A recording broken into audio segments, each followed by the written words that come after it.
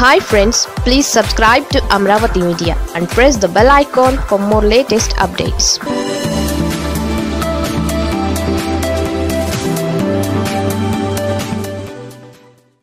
Paritala ఫ్యామిలీకి Chandrababu one plus one offer. Telugu Desam party ఈసారి ఎన్నికల వ్యూహాన్ని మార్చనుంది. ప్రధానంగా రాయలసీమలో పట్టు సంపాదించడం కోసం చంద్రబాబు కూడా మెట్టు దిగి వస్తున్నట్లే కనపడుతోంది.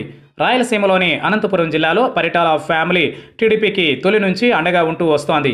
గత ఎన్నికలలో పరిటాల శ్రీరామ్ రాప్తాడు నియోజకవర్గం నుంచి పోటీ చేసి ఓటమి పాలయ్యారు గత ఎన్నికల్లోనే పరిటాల ఫ్యామిలీ చంద్రబాబును రెండు సీట్లు అడిగినా ఆయన తిరస్కరించారు. అయితే ఈసారి పరిటాల ఫ్యామిలీకి రెండు సీట్లు ఇచ్చేందుకు చంద్రబాబు సుముఖత వ్యక్తం చేసినట్లు తెలిసింది. ఈ మేరకు వచ్చిన సంకేతాలతో పరిటాల కుటుంబం మళ్ళీ యాక్టివ్ అయినట్లు చెబుతున్నారు. వచ్చే అసెంబ్లీ ఎన్నికలలో పరిటాల సునీత రాప్తాడు నుంచి పోటీ చేయాలని భావిస్తున్నారు. తమ కుటుంబానికి కంచుకోటగా ఉన్న రాప్తాడులో ఈసారి తాను పోటీ చేయనున్నట్లు పరిటాల సునీత సన్నిహితుల వద్ద చెప్పినట్లు తెలిసింది. అదే సమయంలో పరిటాల శ్రీరామ్ సైతం ధర్మవరం నుంచి పోటీ చేయాలని భావిస్తున్నారట.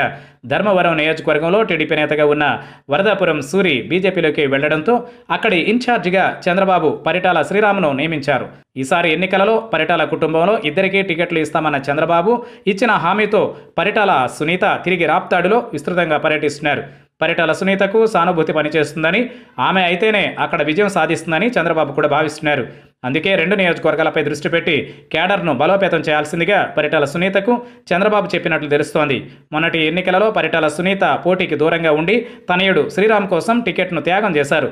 ఈసారి మాత్రం పరిటాల సునీత పోటీకి సిద్ధమయ్యారని చెబుతున్నారు. మొత్తం మీద చంద్రబాబు ఈసారి పరిటాల ఫ్యామిలీకి ఫ్యామిలీ ప్యాక్ సిద్ధం చేశారు.